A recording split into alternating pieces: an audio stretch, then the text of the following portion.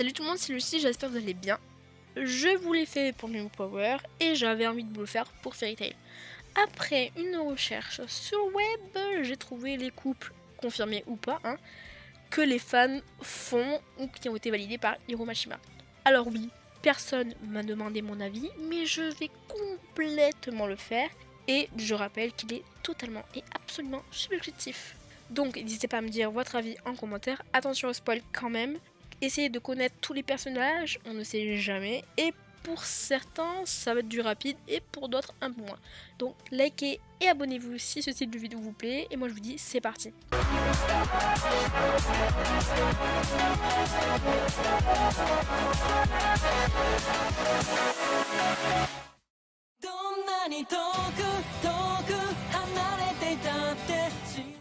Chérie Blinty est reine Akatsuki. Même si Ren a souvent besoin de soutenir une chérie un peu plus faible, c'est un couple qui est quand même très mignon, simple et efficace. On a quand même le droit au développement de leur histoire, et ça, ce n'est pas tout le temps le cas, donc c'est cool.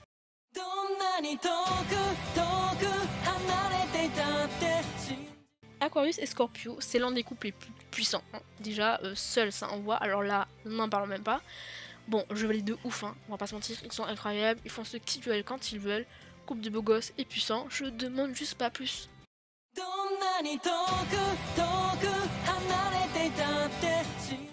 Elfman et Evergreen, franchement, je trouve qu'ils se complètent quand même vraiment bien. Ils s'apaisent hmm, pas tellement, on va pas se mentir. Mais bon, tout fonctionne quand même. C'est l'un des premiers couples qui s'est réellement euh, évolué, expliqué dans l'animé, slash manga. Moi je vais parler d'animé, mais évidemment dans le manga c'est pareil. Je n'aurais jamais parié sur ces deux-là au tout début et maintenant je ne peux que les valider.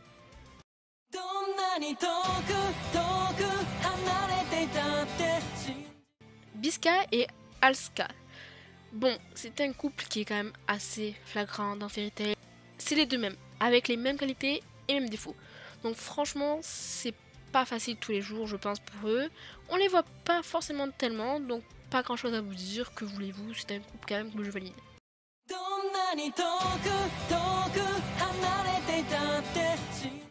Lucie et Natsu, le fameux Nalu. Perso, il ne me dérange pas et il faudrait être aveugle pour dire qu'il ne se passe pas un truc entre les deux quand même. Top du top, c'est le couple entre guillemets qu'on voit le plus vu que ce sont eux euh, qu'on suit le plus, leur évolution, etc. Et ça évolue tellement bien, mais ils sont aussi quand même assez marrants ensemble, donc ça aide à apprécier le couple. Donc c'est un couple que je valide.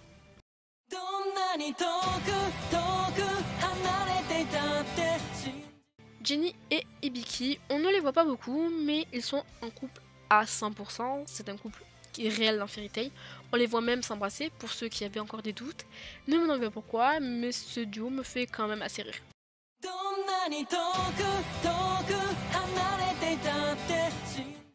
Mavis et Zélef. Vous Zéref, vous appelez ça comme vous voulez. C'est un amour impossible qui se transforme en amour d'une vie. Ils étaient destinés à être ensemble, franchement. C'est deux mages extrêmement puissants, ensemble, ceux qui se complètent extrêmement bien, et ça donne quoi à la fin? Tout simplement un enfant surcheaté. Et je répéterai jamais assez, ils n'en ont eu qu'un seul enfant. Mavis n'a été enceinte de élèves qu'une seule fois. Et cet enfant s'appelle Auguste. C'est donc le mage le plus puissant qui n'a jamais été sur cette terre. Pour moi, et je pense pour nombre d'entre nous, Raikade, donc le mec blanc qui suit Zélef, n'est pas le fils de Zélef. Certes, il le ressent, mais ce n'est que sa création. Il le considère comme son père. D'ailleurs, franchement, on le voit tous, ça saoule Zélef. Mais bref. Donc, quand je vois sur les réseaux passer que ce gars-là est le fils de Mavis et Zélef, mais moi, ça me brûle les yeux. Donc, je répète, Auguste est le fils de Mavis et Zélef. Mavis et Zélef auraient été de fabuleux parents avec Auguste, et si ça n'avait pas été la guerre, ça aurait été juste incroyable.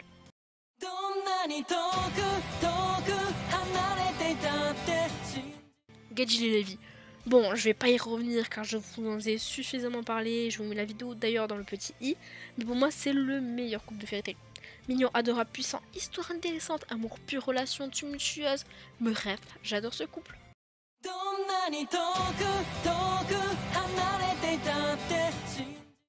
Jubia, j'ai aussi fait une vidéo sur eux. Franchement, je valide ce couple, même si, franchement, au début, j'étais pas fan à 100% parce que bah, c'est Gré et juste personne ne touche à Gré. Mais bon, ils sont vraiment adorables et arrivent à développer leur relation l'un l'autre. C'est vraiment. Ils se complètent quand même vachement bien.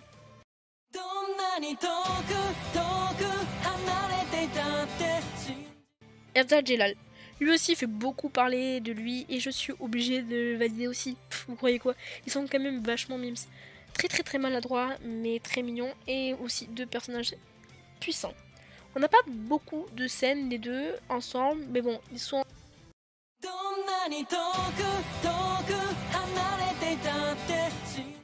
Là on va passer sur les couples plus des ships qui sont pas du tout officiels et c'est juste les fans. C'est juste les fans. Bon, je vais pas mentir que franchement j'aime bien ce couple.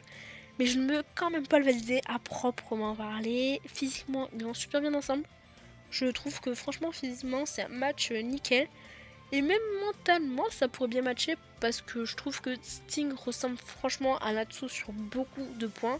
Donc, j'adore ce chip, sûrement, parce que c'est deux personnages que j'adore aussi.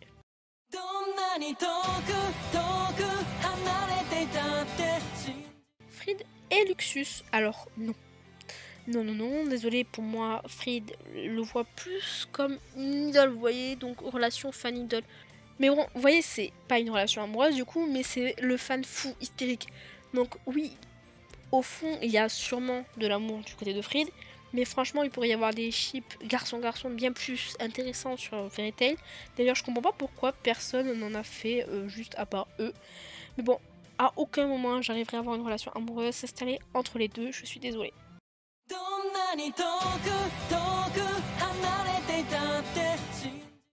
Miragen Lucius, aïe aïe aïe, je suis vraiment désolée, mais je ne le valide pas. Ne me tapez pas, s'il vous plaît, mais pour moi, Luxus doit rester célibataire. C'est un homme indépendant et fort. Même que Miragen est tout aussi indépendante et forte aussi. Pour moi, Miragen, c'est comme la maman de la guilde. Elle est là pour tout le monde et Luxus pareil, mais je sais pas, pour moi il n'y a pas match entre les deux. Oui, ils sont puissants tous les deux, mais la personnalité ne fonctionne pas ensemble, en tout cas à mes yeux.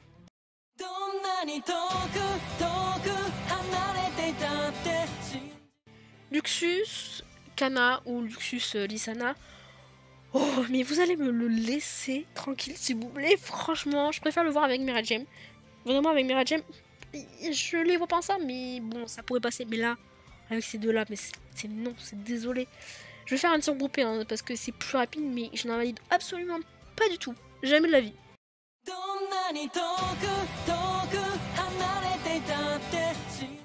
Léo et Lucie. Bon, franchement, c'est pas compliqué de comprendre l'existence de ce couple. Léo ou Loki est juste fou amoureux de Lucie, ça c'est sûr à 100%.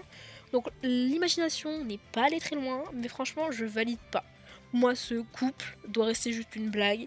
Une blague récurrente et marrante avec Léo qui en fait toujours plus, mais doit rester quand même une blague.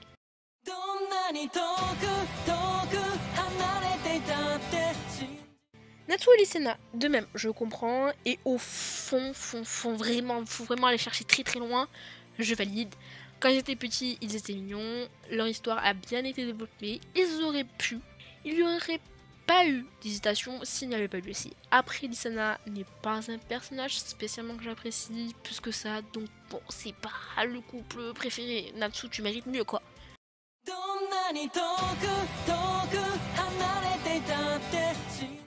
Natsu et Arza. Alors là, non, désolé, je peux pas.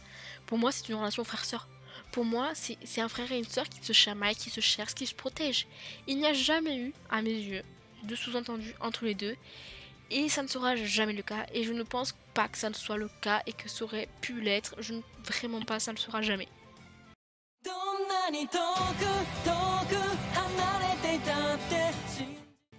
Roméo et Wendy. Je comprends à peu près, ils ont à peu près le même âge, surtout au retour de l'île de terreau. Et franchement, ouais, je vais le de ouf. Roméo a l'air assez prometteur. Il ferait, je pense, un beau couple de beaux gosses quand même. Je trouve qu'ils vont quand même assez bien ensemble. Après, on ne voit pas réellement beaucoup Roméo, donc on verra bien si un jour Mashima fait une annonce ou alors on le voit un peu plus dans la quête de 100 ans. En tout cas, Roméo est très prometteur, même en termes de pouvoir, ça pourrait être le futur Natsu. Vous voyez enfin, personne ne pourrait être à la cheville de Natsu, mais vous voyez ce que je veux dire.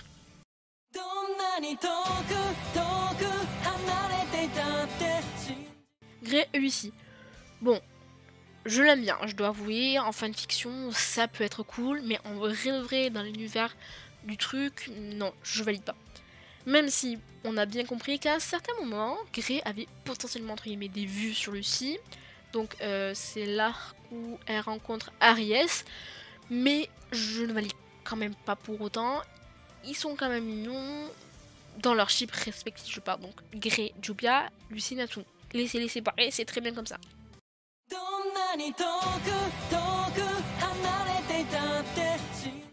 Grey et Erza. Bon, je valide pas non plus, hein, franchement. Alors oui, il y a eu des moments de flottement, surtout du côté de Grey. Mais bon, Grey, il a eu avec tout le monde. Tout le monde. Je pense que c'était un charo Grey. Mais non, je les vois vraiment toujours comme des frères et sœurs qui ont surmonté les épreuves ensemble et qui se soutiendront jusqu'au bout.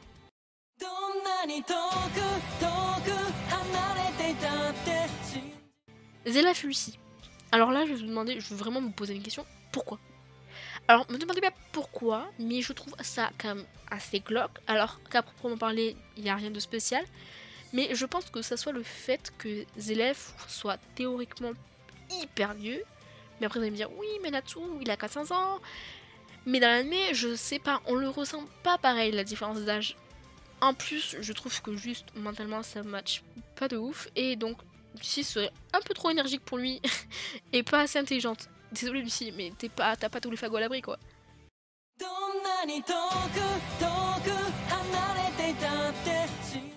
Natsu est greu. Alors, quand j'ai vu celui-là, mais je me suis tapé ma meilleure barre. J'ai presque envie de le valider juste pour y revoyer.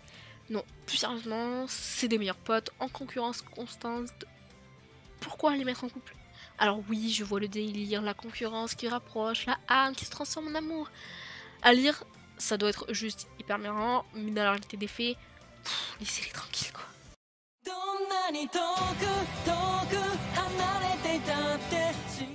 Wendy et Natsu. Alors, j'appelle ça, moi personnellement, du détournement de mineurs. Désolé, non, certes, ils ont plus de 400 ans tous les deux respectivement, mais dans le présent, euh, ça ne se ressent pas comme ça. Wendy est mineure dans le truc. Donc là, c'est vraiment le grand frère avec sa petite sœur pour moi. Donc je ne mène pas du tout, du tout ce chip. Désolé.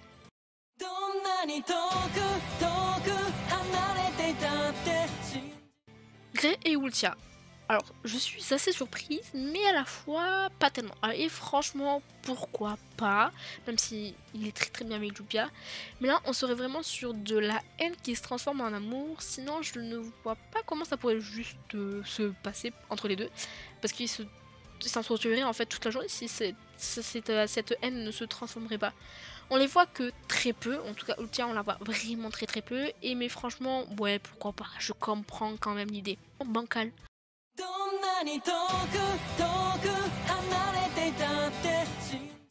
Ibiki et Lucie, en fait ils vous en font tellement peu pour faire des chips, c'est impressionnant. On les a vus interagir ensemble que tellement peu souvent. Oui, Ibiki transmet à Lucie un savoir puissant, alias l'un des plus puissants qu'elle possède. Mais voilà, donc non, je valide pas tellement quoi. Physiquement, pourquoi pas Parce que Lucie est quand même un personnage assez banal physiquement, et lui aussi. Mais mentalement, euh, ok, oui, bon, constellation, connaissance, ok, mais bon, je reste quand même à convaincre, et pour moi, je valide pas quoi.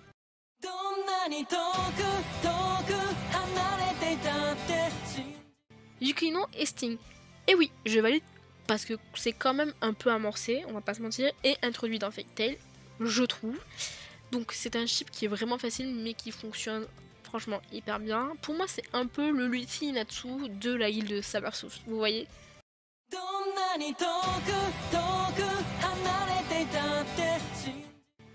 Kana et Bacchus. Franchement, vous avez foutu les deux alcoolos ensemble. C'est juste pour me terminer en fait. Franchement, pourquoi pas Après, franchement, pour suivre Kana dans la descente d'alcool, il faut quand même quelqu'un d'assez compétent. Sinon, ça sera compliqué à suivre, de suivre Canada dans la vie de tous les jours quand même. Donc c'était le dernier couple, le ship de, que je vous propose dans cette vidéo. Bon, vous avez vu qu'il y a des couples quand même assez loufoques, mais je suis surprise par l'inventivité de certains quand même. Sinon, en règle générale, ça va.